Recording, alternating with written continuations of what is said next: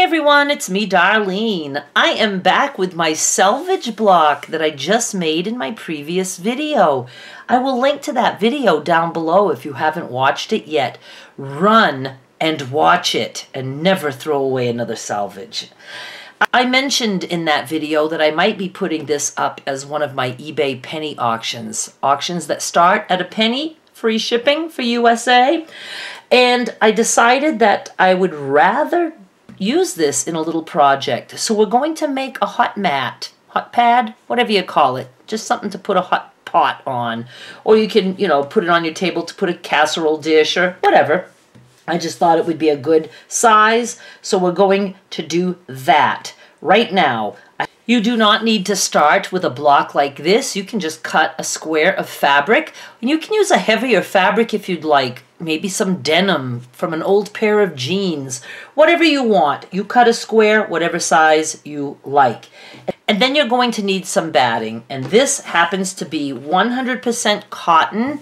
I just got an entire bolt of it. I love it so much just looking at it. I feel like I won megabucks or something by seeing that in my house. you do not have to use 100% cotton for the batting. You can use the cotton poly blend or you can use polyester. It's not going to melt because you're going to be putting the pot on cotton. You do want 100% cotton for the top. You don't want something that will melt, some synthetic fabric. But, but as for the batting, it's okay to have polyester there. I was just going to complete this without doing any quilting, but I think I will do some quilting. I don't really want to stitch in the ditch because I never can quite make it in the ditch and then it's distracting. So I think I'll just follow my line and I'm just going to sew like a quarter of an inch in both directions on both sides of the line and then that will kind of hold it together. Let me go do that. I will be right back. All right, I got that done, and it looks cool. And you might be saying, but Darlene, you didn't put the backing on. If you're going to quilt as you go, you need the backing also. I didn't really do it because I want everything to be stuck together. I did it because I thought I would really like the lines. And it does hold the batting down, but I didn't really want those lines on the back. So now I'm going to trim this and get rid of this excess batting. Memory card just got full, and I think I had the wrong setting for the lighting. I hope I have it right this time. My little block ended up being seven and a half inches square, so I need my backing to be two inches larger all the way around. If you're doing a rectangle shape, like for a placemat, same thing goes whatever size your block is, you're going to want your backing to be two inches wider and two inches taller. So I cut a piece of muslin. This is muslin that I've had for a bit, but it's a little bit heavier than I wanted for like quilting, which is why I haven't used any of it. it's going to be good as a backing for this project. And then you can just eyeball it if it's a square or you can measure to see if you have like an inch all the way around. I'm good with eyeballing. We're going to just fold up. You can finger press and then fold up again. You can put a pin if you want. I'm just going to press that. Actually, I will put a pin because that makes more sense. That'll hold that down. Now I'm going to turn it. So when you fold, you know, you're going to be folding like almost up to your fabric. But this time now, we need to deal with this funky corner. So let me press this first. This corner, we're going to, let me see if I can zoom you in. Come on and zoom, zoom, zoom, zoom. Oh my God. Such talent I have. Such camera skills. Where the hell are you? I don't know how to move it. Okay, we'll, we'll go with that.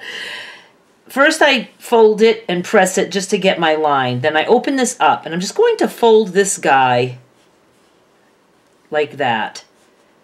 See what I did? I just, you know, folded it to match the edge. And then I can fold that up, and then we can fold this whole guy up. What the hell is there? You know, if it doesn't match up perfectly, well, it's probably not going to because I don't know how to teach you things. because I don't do it right either. I'm okay with that. I'm going with that. I'm going to pin that right there. Good. I'm good with that. Let me put another pin over here. Some people use a glue stick. I really do need to get a glue stick because uh, you can use glue sticks to hold stuff down. Let's back up again. Whoops. See, told you I don't know what I'm doing.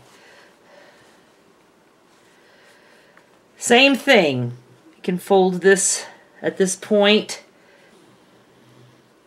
Let's see. Let's fold that up. Yeah, I could probably adjust that as I'm sewing if I care to. I'm going to put a pin there and a pin down here. Now for the last side, we need to fold twice. I mean, both corners. We have to fold this corner. This is where glue comes in handy because you can just tack it down. I wonder if I can just put a pin in there for a moment just to kind of keep that there. And then this side has to go the other way. See, just folding it in like you're folding the edge of a package and then fold up until you almost are up to your block I'm going to just finger press and up. Let's see how that looks. I'm taking this pin out now. Ooh, that looks good. I think I did good. Like that. And let's see this side. That looks pretty good too. I think I did a fine job for not having done this since I was like in seventh or eighth grade is when I learned how to do this. I got a little kink here. I'll take care of that when I'm at the sewing machine. Then you're just going to go and sew all the way around very close to the edge, like maybe an eighth of an inch. And then I'll be right back. I'm giving myself an A just for the sake of attempting it. A for attempt. I'm going to give myself maybe like a B minus for the final product because my corners are a little bit funky on two sides. See, they started to like open up a little bit. Look, I haven't done this for years, so I'm okay with it. But one thing I'm going to do, oh, and I wanted to mention that when I started sewing, I just started on the side. I didn't come in because I didn't want a stitch line going off this, so I just started and uh, went around and then stopped just did a little back tack. But I think because my corners are popping a little bit, I'm going to go around again one more time just to make sure that that doesn't come undone there. I mean, I don't think it would, but it could. Let me do that. I like it better with the two lines that are very crooked, I think. I might give myself a C+. plus. But I'm happy I tried it. Again, I haven't done this for years. This will be a penny auction now. And you'll probably just want to bid only a penny. No, I'm just kidding. It's going to function just fine. Now see, look at the back. I like it. I didn't want those crisscross lines in the back. I just wanted this. So I like it very much. Give it a try. You know, I think with not such thick fabric, the muslin was really kind of heavy and a little bit on the stiff side. I think I would have done a much better job with the corners. So it gives me a chance to continue to do this and do it enough times to the point where I just can do it magically without even really thinking about it. And I wanted to say that I know some of you are screaming at me, you didn't do it right. There's probably five different ways to do the corners when you're using the backing as the binding. And uh, I did it the way that I learned when I was like 12 years old. So you can do it your way. I did it this way. There is no right way or wrong way. Just do it any way you can think of, even if nobody showed you a certain way. Make something up and try it. Thank you so much for watching. Bye.